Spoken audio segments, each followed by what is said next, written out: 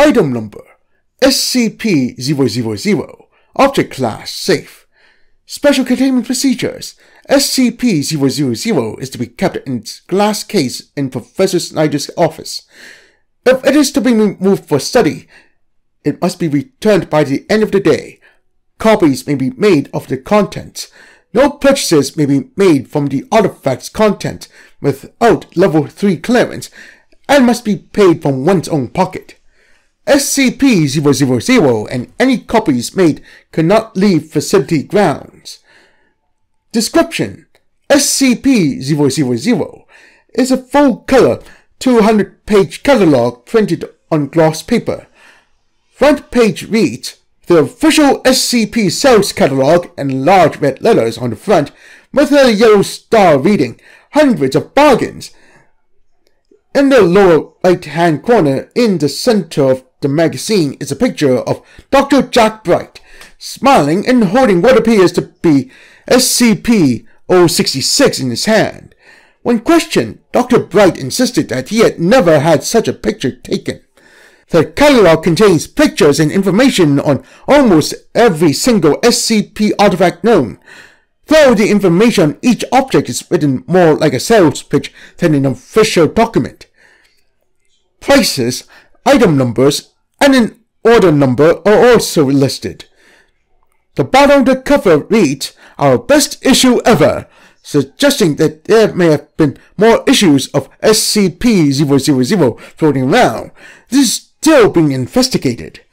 Besides artifacts, SCP-000 also includes a list of SCP-related merchandise, including t-shirts, books, DVDs, and even video games and action figures, all of which are based off of known SCP artifacts, phenomena, creatures, and personnel. Administration denies ever authorizing the creation or distribution of the magazine or anything it sells. Samples of sales pictures from the magazine include item number 062, the world's greatest toothbrush. Don't let the typo fool you. This toothbrush is out of this world. No toothpaste needed. Just gently scrub your teeth, and like magic, all that nasty plaque is completely obliterated. And for those ground in countertop stains, look no further than the world's greatest toothbrush. Available in blue, pink, and green. Price, beep dollars. Item number 123. Contained miniature black hole. Back in stock after so many requests, this black hole is guaranteed to spaghettify anything you throw at it. Great for science projects and parties.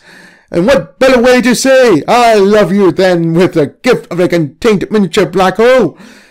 Order now while supplies last. Warning, contains small parts. Price, beep dollars. Item number 244. Ice Vault Jar. Why waste electric bill money on expensive refrigerators? This jar will turn an enclosed space of any size into your own private meat locker. Freeze whatever you want. Just pop out the lid and watch it go. Price. Beep thousand dollars. Item number. 340. Insanity Candy. A truly maddening prank. Trick your friends into eating these COVID candies, watching literally go out of their minds. Available in five packs. Price. Beep dollars. Item number 447. Ball of green slime. What can you do with it? What can't you do with it? Use it as a lubricant, top of your gas tank, style your hair, or even dress up your salads and sundaes. The possibilities are endless. Now available in blue. Warning, do not apply to dead bodies. Price, beep dollars. Item number 500. Panacea that Ebola, HIV, cancer, athlete's foot. This kills them all. No malady is too unkillable. Out of stock. Price, beep trillion dollars. Item number, 551. Impossible puzzle. Throw out your Rubik's Cube and put down that crossword. This is the puzzle to end all puzzles. No one in history has ever completed it. Can you? Hours of fun. Price, beep dollars. Many of the sales pitches seem to suggest that some SCP artifacts are not the only ones of their kind, with phrases like order two, get the third one free, and so on. However, when more than one item is ordered, the arriving package only contains the original artifact along with a number of mundane replicas of the same artifact. Samples of merchandise related to but not listed as SCP artifacts include a white con t-shirt reading I survived the wrath of SCP-682 included a picture of SCP-682 on the front. Available in size small to extra extra extra large. Price beep dollars. A 30.48 centimeter SCP-076-2 action figure with interchangeable wardrobe, accessories, and carrying case shaped like SCP-076-1. When questioned, SCP-076 expressed great distaste. Price beep dollars. A two-disc CD titled Dr. Clef's Holiday Hits cover depicts Dr. Alto Clef in a Santa outfit and holding a microphone. When questioned, Dr. Clef denied ever recording such an album. Price beep dollars.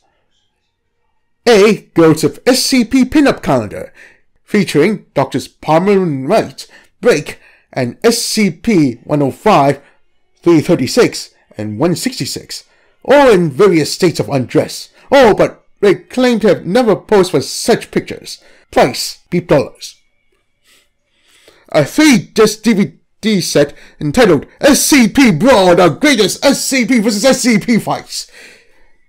Cover depicts SCP 076-2, 173, and 682. Each disc is 9 hours long and features various killer level SCPs fighting each other, most of which have never been formally recorded or even attempted. Price beep dollars. Soundtrack of Fernand the Musical contains two discs with 10 songs each, many of which were of violent or vulgar nature regarding SCP-082, some of which are apparently sung by SCP-082 himself.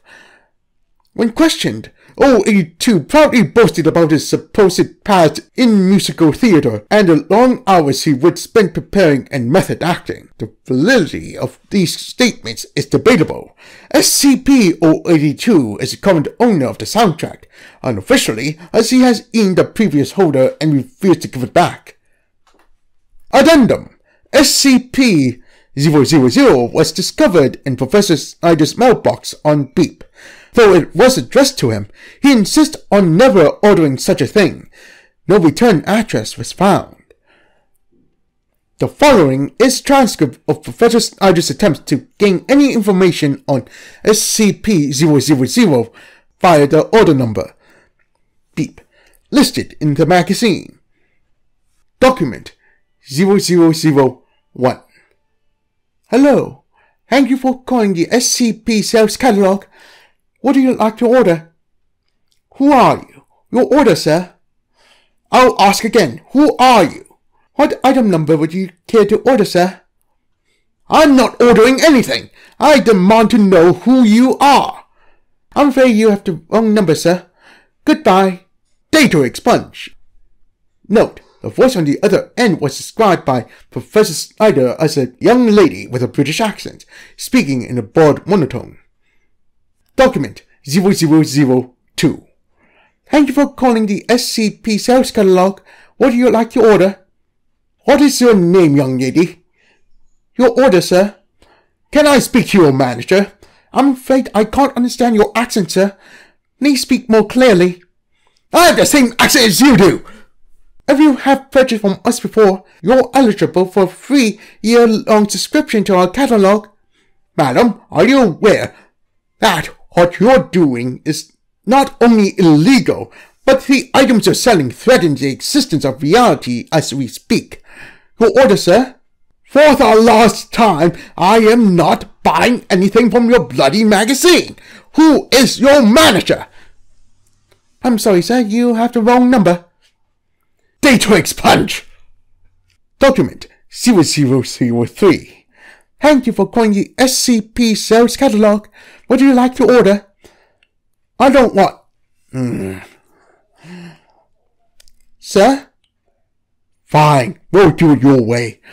I guess I'll order SCP-005. That seems safe enough. And how many will you care to purchase? How many? There's only one. So that one order of SCP-005, your total is beep dollars. Would that be all right, sir? All right, I've bought something. Now will you please let me speak to your manager? Thank you for shopping with the SCP. Son of a data expunge! The following day, around noon, SCP-005 went missing from its containment area.